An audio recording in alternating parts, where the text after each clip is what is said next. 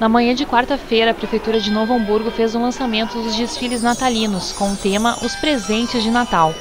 O evento será realizado em três edições: dia 12 no bairro Canudos, dia 14 no bairro Santo Afonso e no dia 20 na Avenida Pedro Adams, no centro.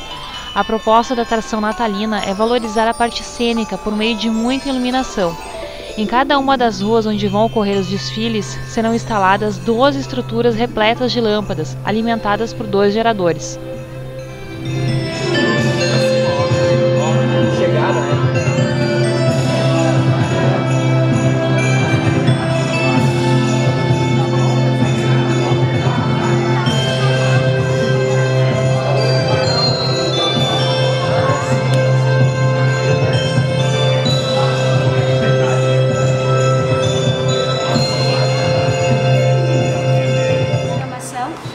Bastante centralizada esse ano nos bairros, desenvolvendo mais de 15 atividades com as escolas, com a caminhada das luzes que tem sido muito interessante, porque a gente tem atingido aquele espírito de fazer com que as famílias saiam das suas casas para vir assistir e acho que esse era o grande objetivo, que a gente integrasse a nossa comunidade.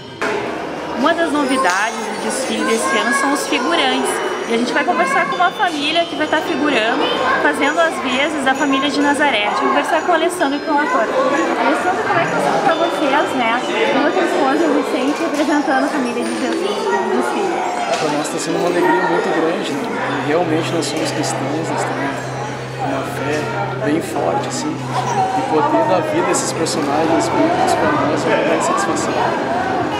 E vai ser a estreia da mãe do Vicente, né? É verdade, é a primeira vez.